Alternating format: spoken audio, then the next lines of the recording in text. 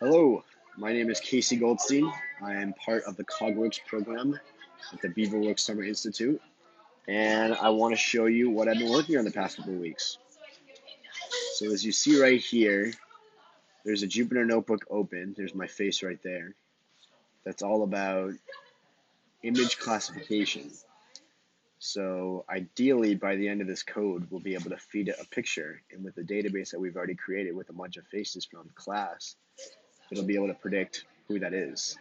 Uh, unfortunately, it's not working right now, but give a couple more GitHub pulls, it should be. So, hope you enjoyed, and thank you.